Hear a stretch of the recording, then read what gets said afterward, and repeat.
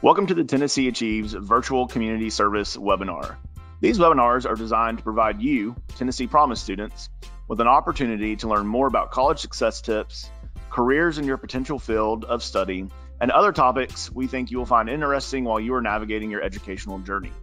These webinars will also help you complete your community service requirement while it may be difficult for you to do so at this time. A few housekeeping details before we get started. By logging in as a Tennessee Achieve student, we are able to track your attendance and how long you remain actively engaged during the webinar. Once you complete the webinar, you will automatically be given credit for one hour of community service. We will track how long you watch, and if you do not watch the webinar in its entirety, you will not receive credit. You do not need to complete the community service form for these webinars. Tennessee Achieves will log your hours for you. Tennessee Achieves staff and partners across the state are providing important insight and information we think you will find entertaining and informative. We hope you enjoy this new series of webinars. Welcome to the Tennessee Achieves Virtual Community Service webinar series. Today we are discussing discussing careers in healthcare. Um, when we survey Tennessee Promise students, there are two fields that seem to come up over and over again um, that students are really interested in, and that is healthcare and education. So today we're going to tackle one of our most popular um, field fields of study, um, and that's healthcare. Uh, we have with us today David Tresh, who is the Director of People and Leadership Development at Maury Regional Health System. Kirby Campbell, who is a research scientist at St. Jude Children's Research Hospital. And Kiami Coleman, who is an administrative medical assistant at DaVita. I want to welcome all three of you and thank you for being here today. Thank you. Awesome. Thank you for inviting me. Thank you. We're excited to have you. And Kiami, we'll talk about this at some point. But Kiami's a, a former Tennessee Promise student, so I think that'll be really interesting to weave this into the conversation, so students out there can hear from someone that was in their shoes not too long ago. But uh, why don't we just start out? If you guys will tell us a little bit about yourself, um, where you're from, where you went to college. Um, maybe some of you went to more than one college, um, degrees that you have earned, um, and a little bit about what you do now. David, you want to kick us off? Sure. Yeah. Well, I live in Franklin, Tennessee, and I, I work down here, of course, for the uh, Maury Regional Health System.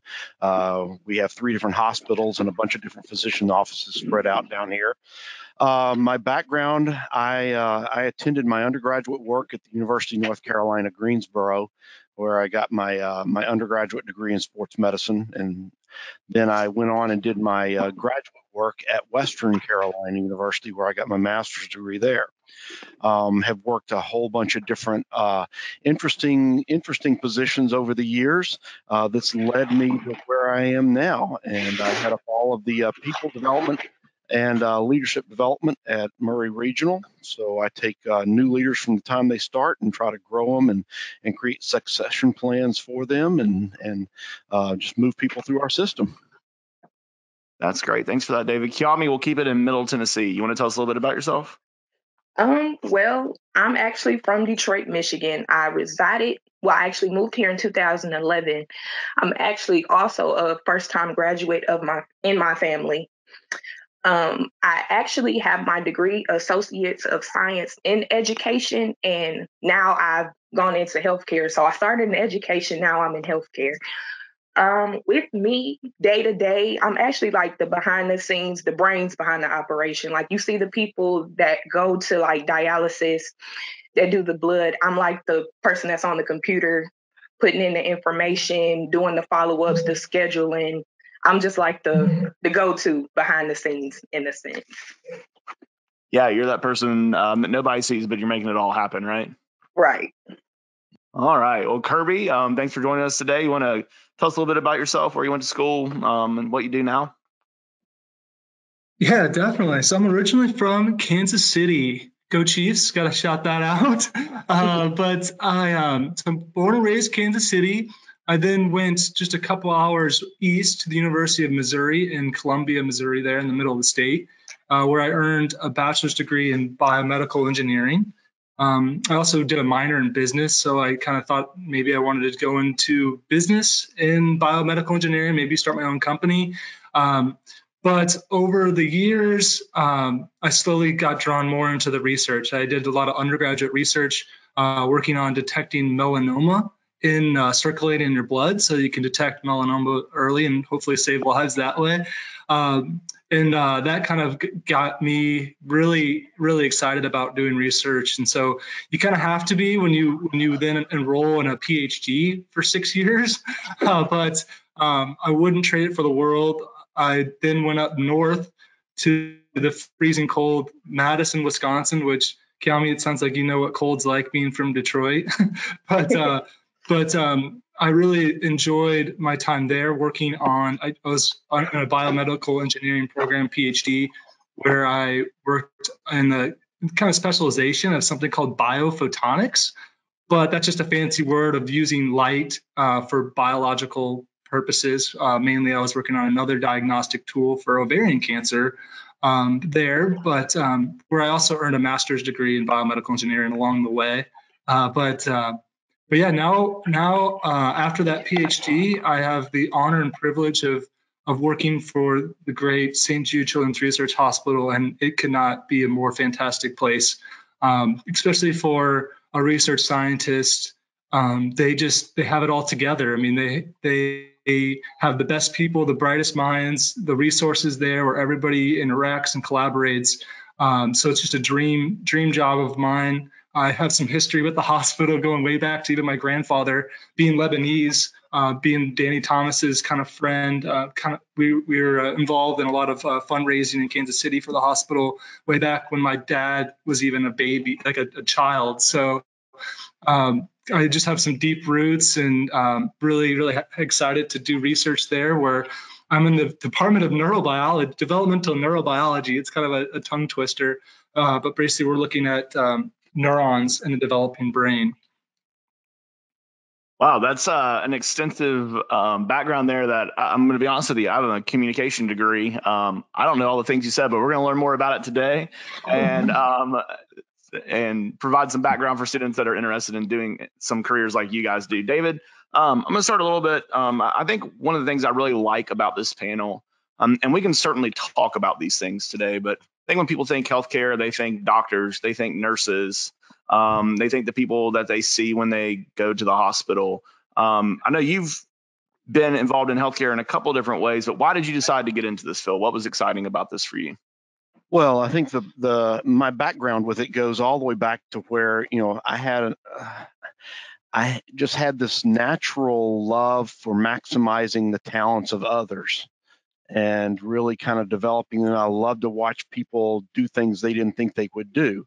So the first part of my career started out working with athletes, and a lot of times it was elite athletes, from Olympic athletes, professional athletes, and it was being able to figure out new ways to, if they would get hurt, help them to to just really um, come back even stronger than they were before. And so now it's evolved as I've learned more and more about myself and what the parts of my job that I absolutely love more than others. So now it's me helping others help others. So it's really kind of that cascade effect. And that's really what leadership is all about. You know, when I talk about doing leadership development, one of the things I talk about is there's really only one qualification to be to be considered a leader, and that's you've got people who are willing to follow you anything other than that is you know just nice things to have but you know so when we look at that and that's that's where that's where my passion is. That's why i, I just happen to choose healthcare uh, because there's a huge need in that. I mean you know it's uh, there's a huge need in being able to effectively communicate. Um, you know one of the things that that i love most about my job is teaching others the arts of communication. And healthcare is I mean, it's one of the one of those one of the parts where that's needed is most. Yeah, I think that's absolutely right on point. I know that a lot of times when people are going to the doctor, you um, hear these terms you're unfamiliar with and you don't know what they mean. And being able to communicate communicate that to patients so that they really understand what's happening is certainly um, something that's very vital in your career, I would imagine. Um, yeah. Any famous athletes that we might know, and are, are you allowed to tell us that? Oh yeah, oh yeah. Well, um, I, I, was actually selected to the 1980 Olympic summer team, but uh, we have the distinction of being the only Olympic team never to actually go to the Olympics from the United States. That's right. Um, everybody remembers the 80 uh, Miracle on Ice team, but the Summer Olympics did not happen for the U.S. We boycotted those games. So our Olympic Games were the Olympic trials in Eugene, Oregon. So I got to work with a lot of elite runners, the Renaldo Nehemiahs, the Alberto Salazars, uh, a lot of folks like that. Um, and then I went over and, and I worked in professional baseball for a number of years. Uh, where, in fact, uh, I do have a World Series ring. I was with the with the World Series championship team wow. In 1986 when we won won the World Series against Boston. Um, so uh, and then you know 96 games. I was on the planning and event uh, side of that, getting getting all the logistics for, you know, if someone got hurt kayaking, we had to have a process involved of how how long will it take to get them out of the water, extricated, where a helicopter lands and can fly them down. In our case, it was Emory uh, Emory University Medical Center. Uh, so it was timing out all that stuff. That was about a six month project there.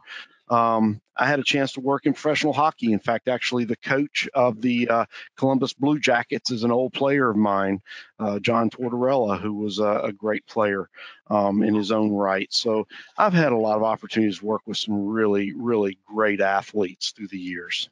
Very cool. I didn't know we had a World Series ring on the webinar. Yeah, dude. Super yeah, exciting. yeah, All right. That's awesome. Sounds like Kirby's excited too. Um, oh, well, well, now Kirby, I did. Uh, I, did so cool. I did. I did a stint. I did a stint in Kansas City. I, I worked over in Lenexa uh, for, for, a few years over there with. Thermo oh yeah, it's really close where I was born. Yeah, Thermo Fisher Scientific. I worked for them. Thermo, Thermo Fisher. Yeah, I headed up their global microbiology training and development for for a few years. Very cool. Oh my gosh. That's amazing. Yeah, I'm from Overland Park originally, so right okay. next door. yep, I lived up in Shawnee Mission. That's great. It's it's funny how small the world can be sometimes. Um, Kiami, let's go to you next. You talked about um, you originally thought you were going to go into education. What brought you to the healthcare field?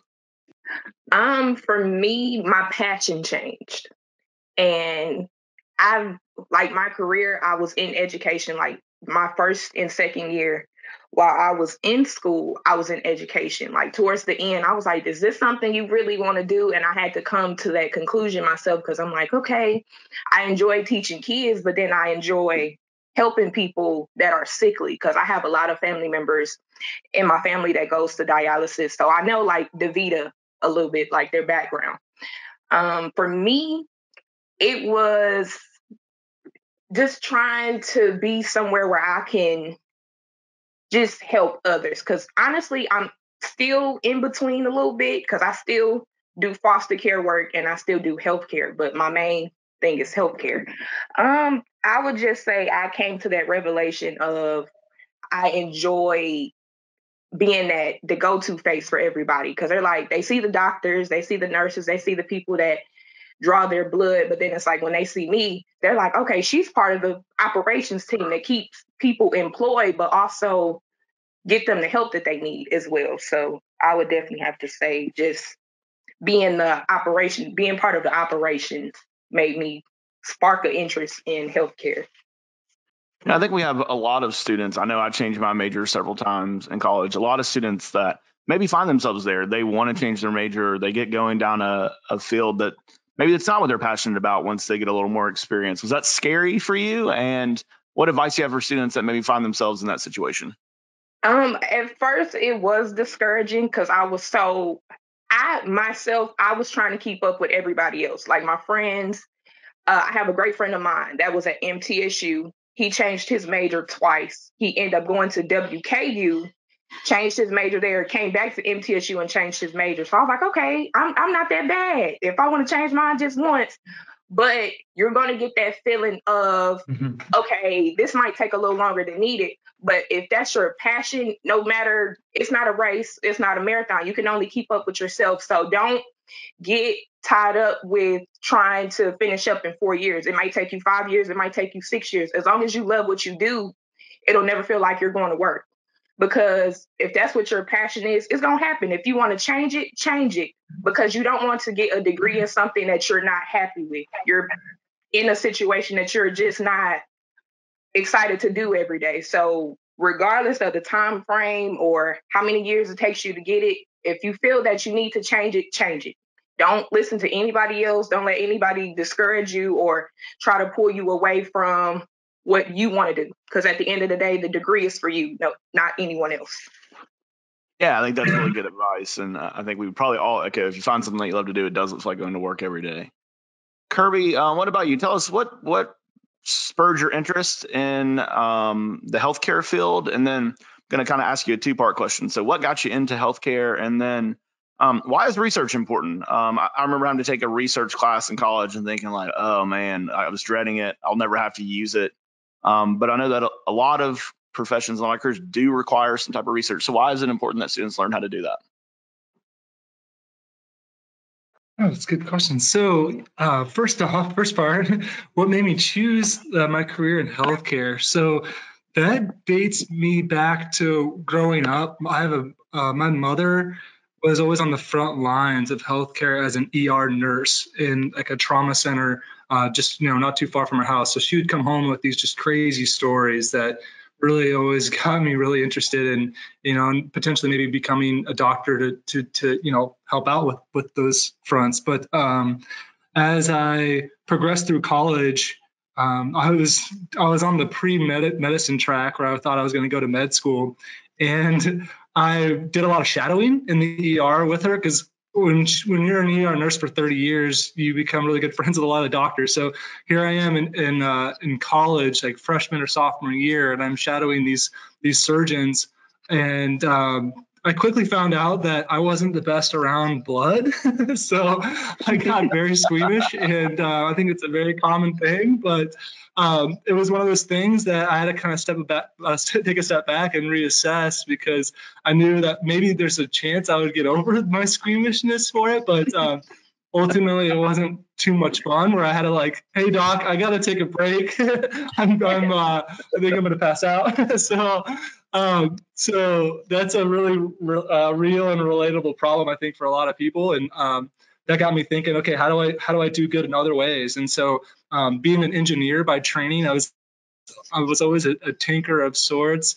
Like growing up, you know, Legos were my jam. I used to like make these crazy things with Legos. I loved like creating things, and so um, I got into the engineering side and quickly found out like how powerful engineering can be in healthcare and how um, you know, you can almost do a, a mass, a more, a, a, I guess, good on a different scale. So if you're a doctor and you're seeing patients every day, you might see, I don't know what the numbers are, but maybe 30 or 40 patients a day, maybe 100 a week.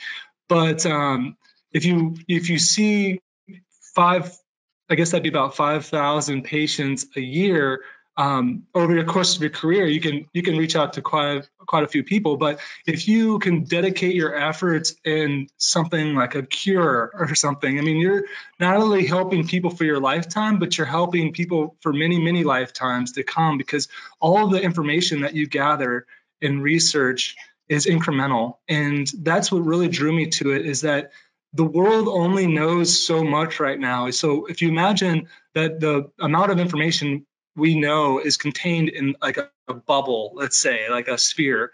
And all of that information is finite, right? There's only so much in there, but over time, people are learning more and more things. So that sphere is growing. So I'm imagining myself on the edge of that sphere, just kind of poking out that sphere ever so slightly, filling the world with just a little bit more knowledge. So I think, I think for me, that's really rewarding. And, and just to think that, you know, I am working towards uh, ultimately. I was working on therapeutic, uh, sorry, diagnostic measures for various diseases, which is very important in its own right to detect disease early. But uh, the work I do now has implications in diagnostics, but also in therapeutics, which is kind of where I where I see myself going in, in, in my career. So there's my mom that kind of got me into the healthcare industry, um, and then I also had quite a few family members, like Kiami was saying, she has some family members that had to go on the dialysis machines a lot. But um, it seemed like amongst my friends, I, I had uh,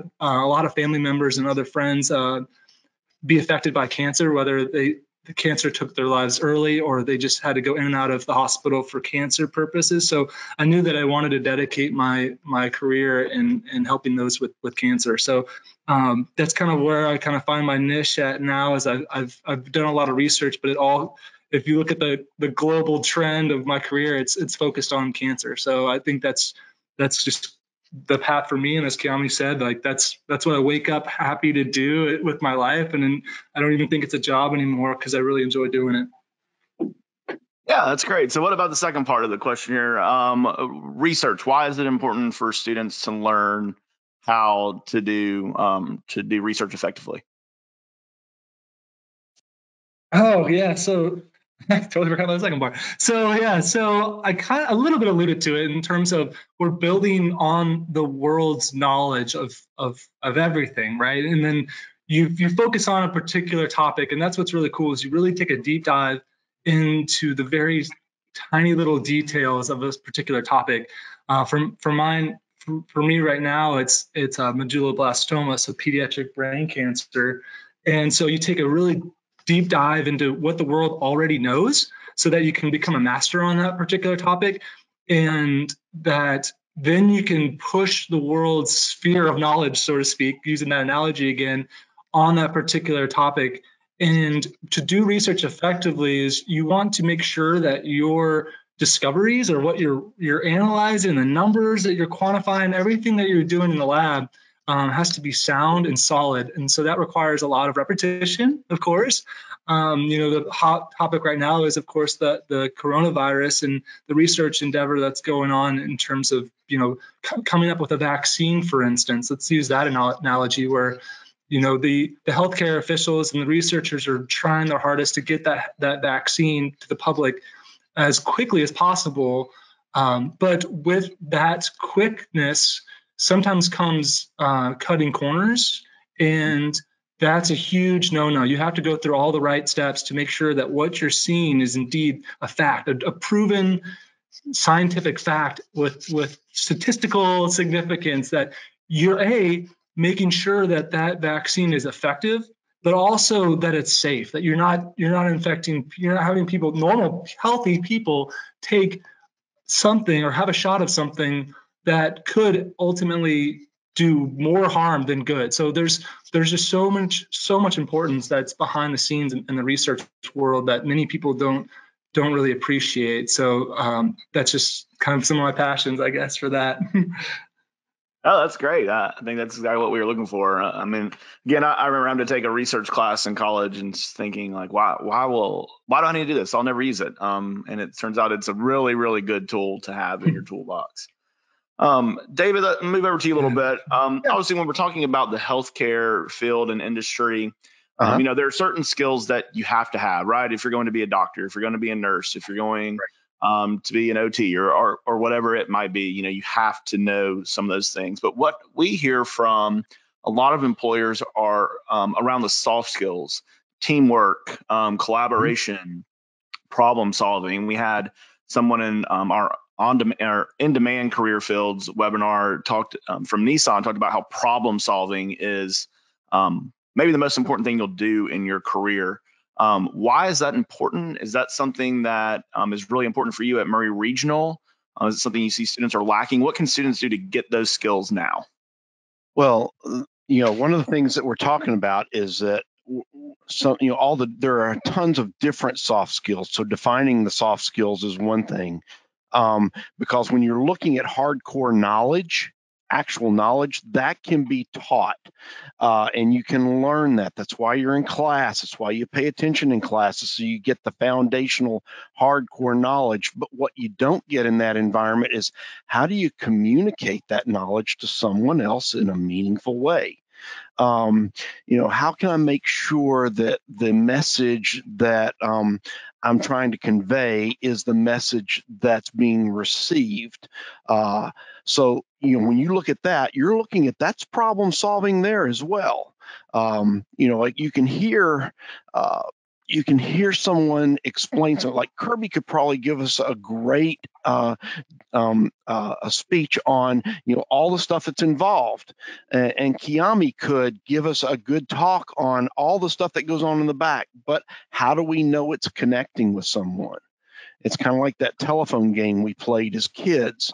You know what you're saying versus what actually gets all the way around the room. So I, one of the things I find in healthcare, especially, is that the other person has to understand what you're saying and what you expect from them to do. You know, what is it? What does you expect? I mean, all the people that I've known that have been extremely successful in healthcare number one, they know how to ask good questions, and number two, they know how to listen and then be able to clarify, make sure they get everything down there together. Um, and they're not the ones doing all the talking. You know, I, I can I, I, mean, I just think of a, a research study that was done at the Dana Farber Cancer Center up at Harvard that showed where physicians talk 80% of the time during one-on-one with a with a uh, patient. Well, that they've had to change that dynamic because they find that the best physicians actually listen 80% of the time.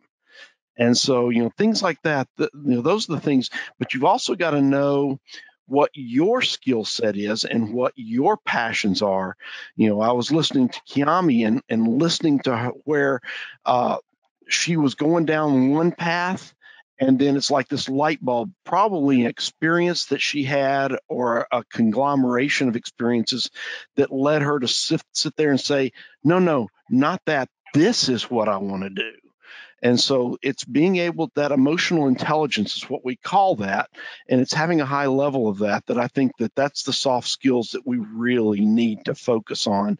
And that's one of the things we look for is um, you know we look for when we're interviewing candidates to work here at Maury, we look for what are their question skills and what are their listening skills like during that whole interview process.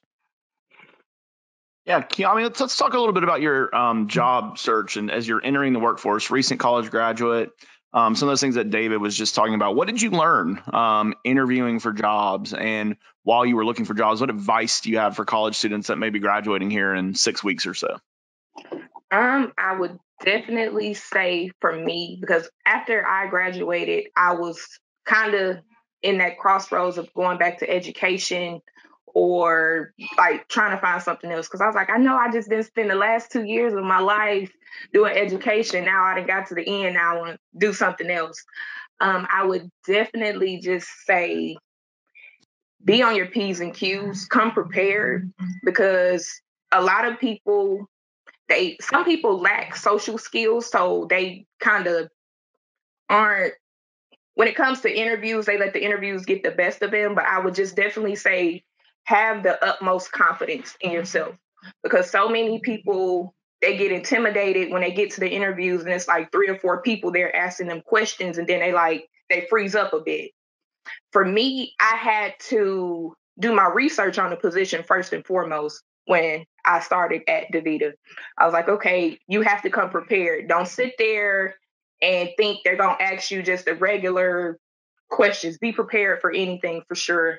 Um, just having an open mind and being prepared to ask them questions as well. Because I feel like people out of younger people that's coming straight out of high school, they kind of skip over the part of interviewing the person that's interviewing them as well. They kind of like, okay, do I have the job or focused on how much the position may pay?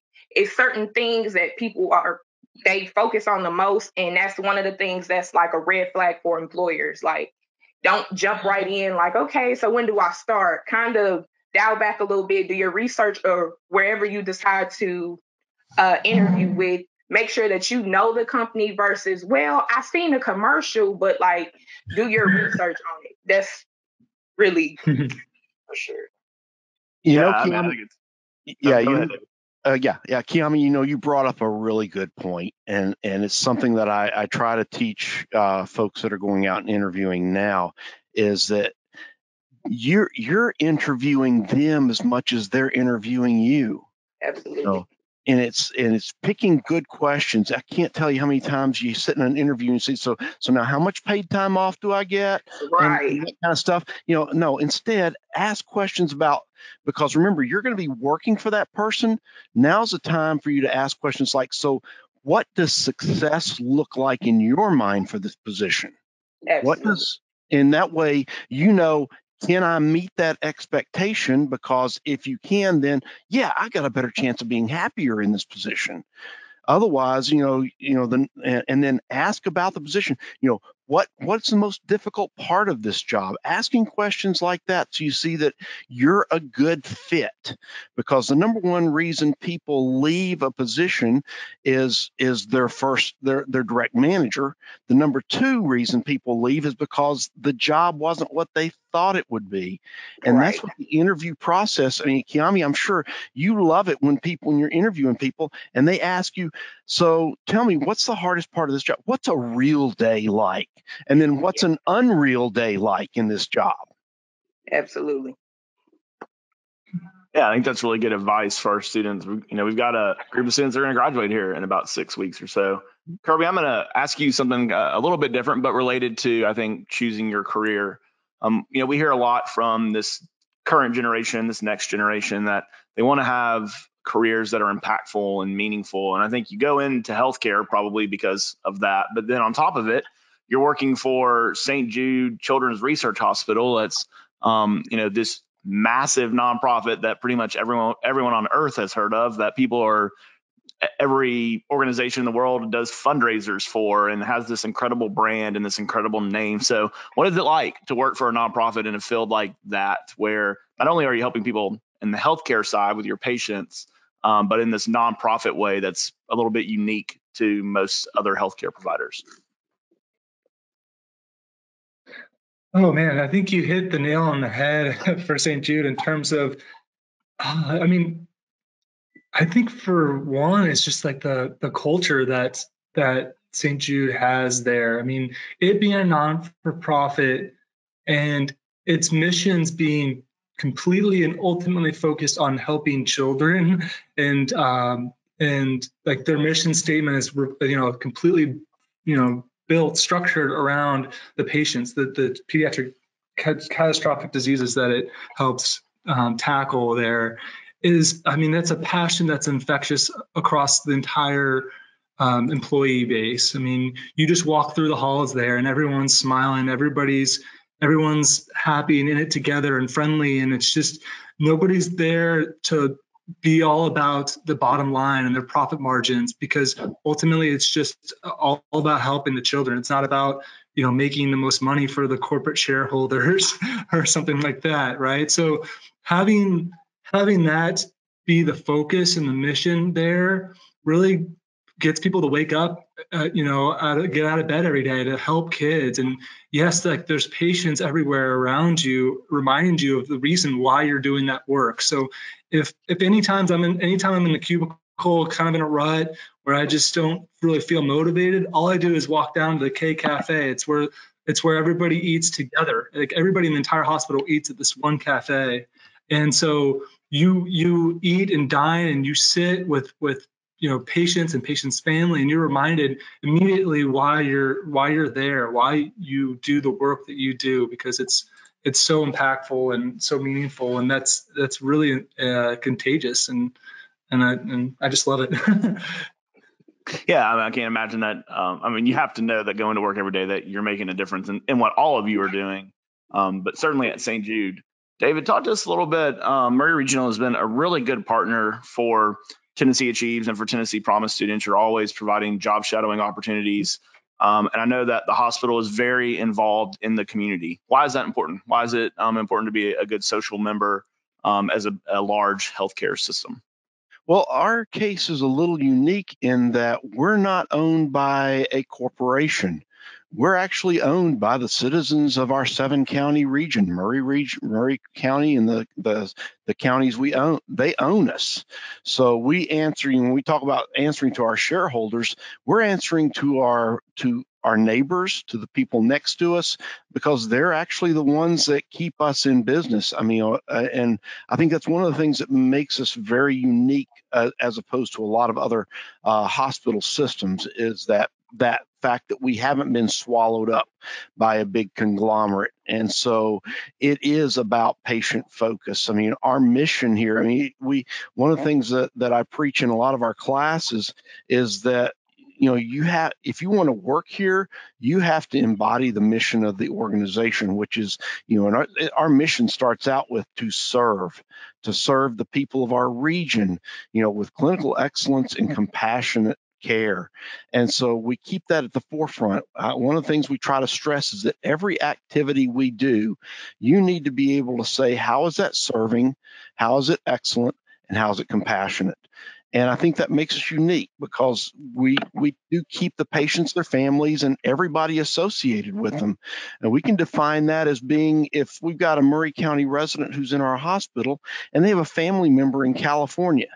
Well, our region has suddenly gone out of here to California because we're interacting on the phone and giving updates on that loved one here. And I think that's the impact that it makes. I mean, it's it's it takes a unique person to work in healthcare, um, but you all do it for different reasons. I mean, I know I know anesthesiologists uh, I've just interviewed a couple recently, and they both had very different reasons for loving what they did.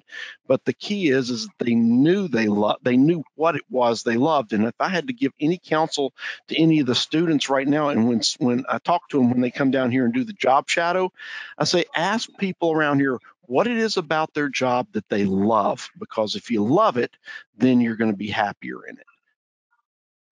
Yeah, absolutely. Um, I think Kiami kind of touched on that earlier too, talking about yeah. if you love what you do, it doesn't feel like you're going to work every day. Exactly. Um, Kiami, uh, well, I think one thing that you all left out of your um, introductions here is all three of you service Tennessee Achieves mentors. Um, mm-hmm. I did some uh, quick pull of all of your accounts because we have we have nine years of experience as Tennessee Achieves mentors on the panel, so we want to thank you guys all for that. But um, Kiami, as a Tennessee Promise student, you were required to do community service hours just like students are now. Um, but you have obviously continued to run with that, um, serving and volunteering as a mentor. Why do you think it's important to give back? Um, for me personally, growing up in Detroit, I knew I wouldn't have this type of opportunity presented in front of me. So when I heard about it my senior year, like me and a couple of my friends, they were like, oh, no, I don't think I'm going to do it. So I was like the only one that took advantage of this opportunity. And just to have this opportunity open so many other doors for me, it was the least that I could do on my behalf to just show my gratitude because I don't know what what I'd be doing where I'd be without this program overall. Like aside from being a mentor right now, just being in a position to go out in the community and help others, that's was that always made me smile. That's what kept me going because you don't know what people deal with every day and to be at the soup kitchens helping somebody get a meal for the day and just seeing them smile I was like, okay, I got to find out how to be a part of this program overall because it's like so many kids don't understand how privileged they are. And when they get the opportunity to go back into the community and see people that's like less fortunate in a sense, it humbles them, but it also motivates them like, okay, I got to keep going because you don't, you complain about like the little stuff, but then it's like when you're in the field helping the community and you see different things, it kind of inspires you like, okay, this is this is inspiring. And for me myself, I just um, I just had to find a way to help somebody else because I needed somebody like me growing up. So it was like I had to dedicate that time back because you guys gave me the opportunity and dedicate dedicated so much time in me. I was like, okay, now I have to duplicate that back. Well, I think we're done here. I don't know if you guys want to try to follow up with that, um, but that what a um, a great answer I think to why it is so important um, to getting back. I, I, think we can all probably, and David and Kirby, you guys feel free to pipe in here, but I think we all probably um, can can look back to someone that invested some time in us and and got helped to get us where we are today. That we probably didn't do this on our own.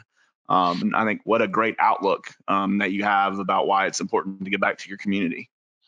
Yeah, and I think I think that we all have people that, if you think about it, we all have people in our lives who affected our trajectory into our future, uh, whether it was inspiration or a mentor. Um, and the best ones are mentors um, who are there to just kind of help guide you and not tell you what to do, but guide you with the right questions to kind of say, you know, so why why is it you're looking to do this? What is it you're looking to do? And that kind of thing, and just to kind of challenge your thought process. And that's one of the things I love to do. Yeah, absolutely. And I think yeah, we'll add on. I would definitely. Go ahead, Kirby. Oh, sorry. Yeah, I was just going to add that. I mean, what Kiami and David said was absolutely perfect. I, I, I definitely agree that having some sort of mentorship mentor for an individual is extremely beneficial and and being a mentor has been an amazing experience for me the last two and a half years has been extremely rewarding and i think i think um, it's really I don't know. It sounds kind of selfish, but I mean, I, I, love helping the individual, the individuals that I that I help. But it's definitely a rewarding experience for me, and it's almost like an endorphin really releasing experience when you help somebody, uh, especially when you do community service. It, you know, yeah, you help the community, but you'll find once you get out there and, and doing it, it's really, really rewarding, and it just makes you just really feel great when you do that. Yeah, absolutely. Uh, you know, it's one of the foundations of Tennessee Achieves is our students are giving back. We have this 9,000 person volunteer mentor program, and I think it's really important. And Kiami, I'll add to your sentiment that you know we here at Tennessee Achieves are, are really proud of you and the work that you're doing as as one of our graduates out in the world these days. Um, I'll ask all of you guys this next question, and uh, we can go in the order we've been going in. I guess David, you can go first. But um, for our students that are interested in going into a healthcare field. Um, what advice do you have for them? What can they be doing now to, to prepare? Uh, and then I'll also ask you, and you don't have to go real in depth, but kind of what career opportunities are available for students, um, maybe with an associate's degree versus a bachelor's degree, you know, working your way on up, and kind of what does it look like um, salary wise as they um, continue to get more education? Okay, well, um, so just to kind of bite off a little bit each time of what you asked there. Uh, I would say pay close attention to those activities that you're doing where you just lose all track of time. Uh, because that's that's where your strengths are. Uh, you're just naturally attracted to that. But then take it to a step deeper and ask what it is about that. I mean, if you're helping, if you if you get lost helping somebody in time and you look up at the clock, it's been an hour and it feels like 15 minutes, you need to step back and say, what was it about that that I really loved? Because that's going to help you as you maneuver your way through the various opportunities through healthcare because different thing different parts of different avenues of healthcare offer different things like that. If you like, if you get lost in the analytics of stuff and and looking at numbers and looking at patterns of data, there's a place for you in healthcare. If you love serving others, there's a place for you in healthcare. So when it comes to different positions um, with associate's degrees, there's nurse positions, there's nurse tech positions, there's occupational therapy technicians, um, and the salary bands for those um, they're they're pretty wide. Uh, but it gives you. I mean, i am working right now. One of the one of the people I'm mentoring here at the hospital, she started out with an associate's degree as a nurse tech she has through her through her experience she's worked her way up. She went on took advantage of some of the programs we have here for tuition reimbursement got her bachelor's degree. She's now heading up our emergency department and so she's done that in a matter of about five or six years and of course her salary has gone way up with that too you know when you're looking at nurse tech you're looking at an hourly rate when you're looking at the manager of a department you're looking at at, uh, at quite a bit of a salary jump. So it really to kind of pinpoint it down, uh, nurse the nurse techs can be in the 30s and 40 thousands, and sometimes as high as 50 thousand, depending upon the area of specialty that you're in. So you want to research that, and that's the kinds of things to ask. You know, when when folks are doing their uh, job shadowing, I ask them, you know, ask the people you're shadowing, you know, what's the salary range like in here? Get those kinds of questions out there and find out and see what it is that you love to do and see if you can pair that with a uh, with the right salary amount that you're looking for. Yeah, and Kiami, what have you seen? Uh, again, recently looking for jobs, what kind of opportunities are out there for students that are interested in uh, career in healthcare? Um, just to go off David, he kind of like my thought process. Me and him were thinking the same thing because that was my go-to, like the nurse techs for sure. Because I work with some that's going back for their associates because they only have a high school diploma right now, and they're kind of wanting to do more within their salary range.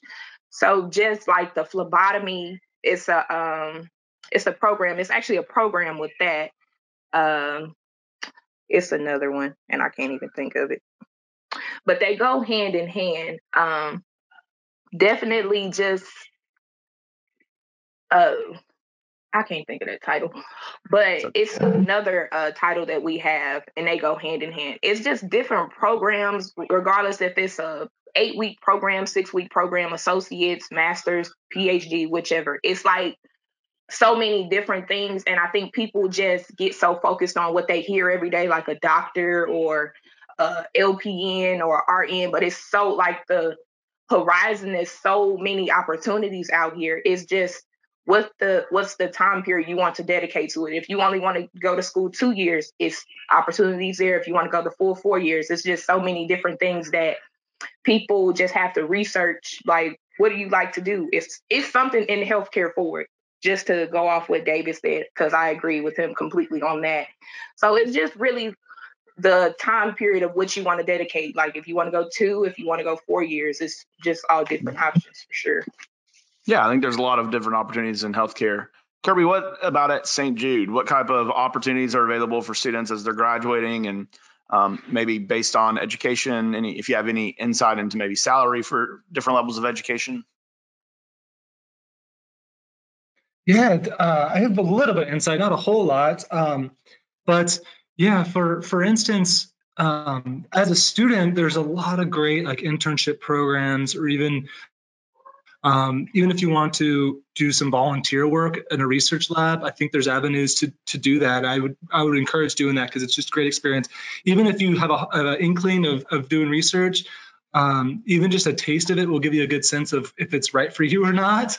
Um, but with the job, it's it's really amazing because of your flexibility and your kind of independence in terms of um, your work independence. You don't have someone breathing over your shoulder all the time. Like you kind of work for yourself, and and um, with that comes challenges, of course, because you got to stay on task. But um, like for instance, um, for me, having a PhD um, is kind of an interesting situation because once you once you get um, into a PhD program, uh, what's amazing about that is um, depending on if there's funding or not for your program, which a lot of PhDs in, in biomedical research do, do have funding, but um, I didn't have to go into any debt because my my PhD was actually paid through a stipend, a research stipend. When you're doing research, it's sort of like a job. Like you you come to work, you're pretty much at work eight to five, sometimes a little bit longer, depending on if you have deadlines or stuff or grants going on or what. But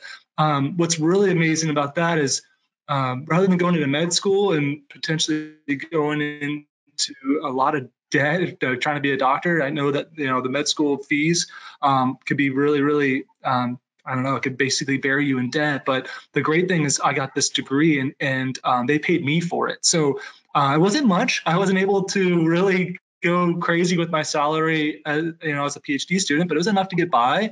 And um, and that was really amazing. But once you have that then typically you'll go straight into a research position, a research scientist position, or if you have um, aspiring uh, direction to go maybe become like a research faculty at like a research institute, then a lot of times you'll do like a postdoctoral fellowship. And it's sort of similar to what you, you'd experience from a doctor, like a medical doctor's perspective, where you uh, essentially are doing more training. So a fellowship as an MD is, you know, typically typically if you're doing a specialty you'll spend three or, or four more years um, to really master your maybe you're a general surgeon and you want to master that field um, it's the same sort of thing where and right now i'm, I'm actually doing a postdoctoral um, postdoctoral fellowship where i'm, I'm doing more training um, the pay isn't quite as much as what you'd get as a research scientist, like a full-time research scientist. Um, but with a little bit less pay i'm getting so much in in training aspects. So um, it's sort of an investment in, in that regard. But um, so like right now as a postdoctoral fellow um, i make more than 50000 so somewhere in the 50 to 55000 dollars a year salary range. Um, you get a little bit more every year but if you get a research scientist position with a phd you're typically on the order of uh, 70 80 sometimes 90 if uh, you know it goes up the amount of years of experience you have um, even if you just get a master's or even if you're a lab tech, let's say you're an undergrad and you go straight into research as a, as a lab technician, um, you can make easily 60 or 70,000. And then with a master's, you can make a little bit more. So there's definitely um, avenues that you make a really nice, uh, comfortable living and you have the flexibility and um, just joy of, of doing good for the world that, that comes with it. So it's, it's definitely uh, a good place to be. Yeah, definitely. No, I appreciate all your guys' insight into that. Um, and so I appreciate all of your insight um, as we're talking about careers in healthcare. But what we like to do, we've got about um, 10 minutes or so left, so maybe we'll go a little kind of rapid fire on these. But we like to finish the webinar with three questions for everyone. Um, so, David, we'll start with you, um, and everyone can answer this question. But, David, um, what is one thing you know now that you didn't know when you were in college that you wish that you knew? Oh, I wish I'd known how to organize myself a little, little better because um, at that time in college I was working 40 hours a week uh, with sports teams and traveling and all that. And it really wasn't until my second year that I realized how I need to come up with a way to better organize myself so I keep my grades going. Perfect. I think that's a good answer. I know organization is something a lot of our students, um, organization and time management. But Kiami, what about you? What is something you know that you wish you knew while you were in college? Um, I would definitely have to say time management because I'm one of those I like to multitask and do everything, like do try to knock out so much. But it's like even going from high school to college, I was so used to my teachers, my high school teachers, like, okay, we'll give you another week to get this turned in. And it's like when I got to college, it was like, you better turn that in now. It's no extension. So just having that reality check, like, okay, they're not playing because you're so used to being getting exemptions and stuff like that. So definitely time management and deadlines. Yeah, uh, that's a big one for students. Kirby, what about you? Yeah, just to add on that, because I agree that time management and the organization uh, planning, goal setting, uh, some of those skills I really didn't develop until recently, and it's really really helped me out. And and kind of to build on that, even is um, to to get into a routine, like basically that kind of all that kind of might help with a lot of these things if you can put yourself into a routine where you say okay from this hour to this hour every day i'm going to do this then that kind of holds yourself more accountable and, and it allows you to to be a little bit more productive in that sense yeah i think that is um, a really strong advice for students there so we're going to kind of move into a similar kind of question um, Kiami, we'll start with you this time. If you have one piece of advice for students, what would it be? The one most important piece of advice. Um, I would have to say it's normal to get discouraged from time to time, but if something in life was promised to be easy, everybody would do it, but just keep pushing. It's going to be some hard days, it's going to be some good days, but regardless, just keep pushing and don't let it defeat you. Don't give up. It's worth it in the end, right? Yep, absolutely. Kirby, what about you? yeah, I took the words right out of my mouth. But yeah, persistence is omnipotent, right? There's so many people that that really that might be gifted and talented but if you don't stay at it and, and be determined and and like you said graham like don't give up uh, there's lots of people that are super talented that that that fail. So even even those that might be not as as talented if you are persistent that alone can be could be you know can lead to huge huge success. So. Yeah that. And I think it's one of the things we hear from employers is that don't give up attitude, that hard work ethic is so, um, or strong work ethic is so important. David, what's your one piece of advice? Well, my thing is to find out what you love. I mean, because we've got this, uh, we've got this mantra that's a false mantra out there of a work life balance. And there actually is no such thing as work life balance because if there was, you'd have to find that moment and the world would have to stop and say, Don't anybody move. I got work life balance right now. You've only got one life. So, work is a part of life. Find out what you love to do and make that part of your life. I think that's great advice. So our final question, uh, I always think is a really fun question.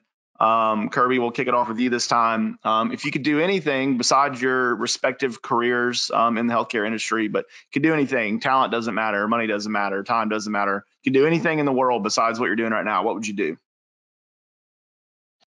a uh, good clause in that was besides what I do, because I definitely love what I do. But um, you know, there's for me, I'm kind of an adrenaline junkie, and there's no better thing in the world than flying down a mountain snowboarding. So I'd probably even I'd probably snowboard, but um, be a professional snowboarder. But I guess for less uh, risk, I might be a professional golfer. Maybe I really like golfing, so something outside. that professional golfing one is mine too. I don't have the I don't have the ability or talent to do that, but I like that one. David, what about you? What what would you be doing outside of the healthcare?